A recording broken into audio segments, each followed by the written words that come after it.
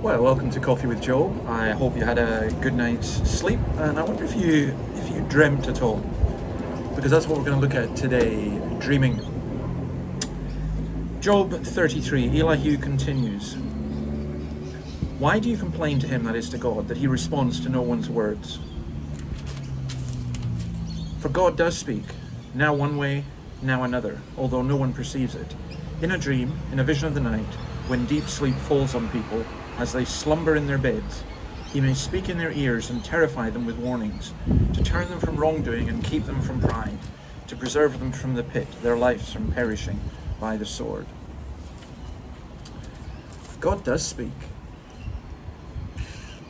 in dreams. Now, most of my dreams, I think, and they are I hope they're not words from God, they're so messed up and so confused. But sometimes we find that they there can be occasions when God does communicate to us through our subconscious. Here, Job is speaking of God using dreams to terrify people against future pride and wrongdoing. In chapter 7 and verse 14, God has spoken to Job through dreams. That, that's already been said. But here, Elihu uses four words dreams, visions, deep sleep, and slumber. And God is giving us these dreams for a reason. They are to frighten us, they are to warn us, they are, look verse 17, to turn them from wrongdoing and keep them from pride. And I think what, what is being referred to here is not so much a specific word from the Lord as a guilty conscience troubling us. In other words, God uses our consciences to speak to us. And sometimes we have very troubled sleep because of that. There may be other reasons that we have troubled sleep, but I think that's a, a pretty important one.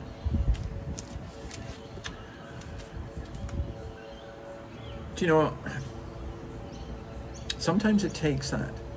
We need to be aware of guilt and wrong. I, I'm just astounded at how shallow and superficial we are about evil and wrongdoing and sin.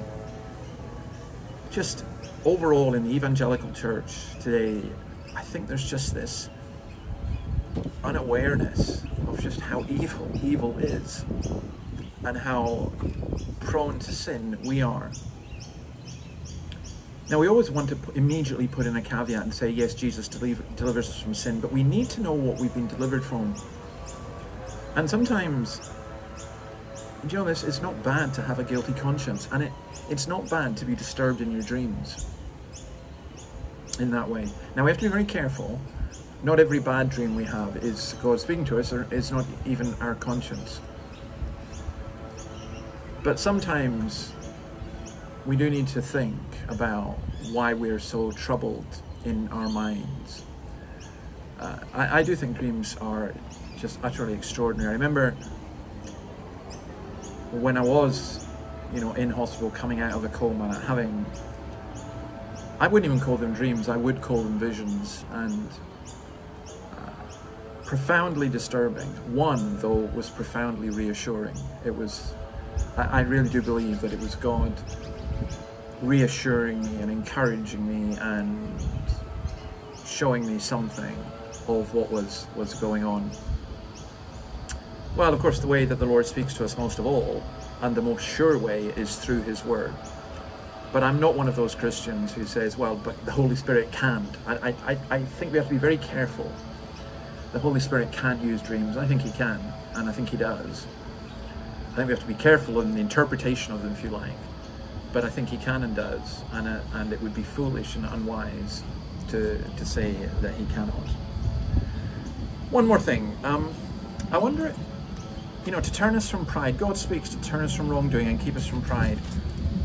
I wonder if COVID is part of God speaking to us. I don't know. Maybe we'll look at that tomorrow. But meanwhile, um, love you and leave you. Uh, hope you have a good night's sleep. Uh, hope you get some rest and hope you have sweet dreams.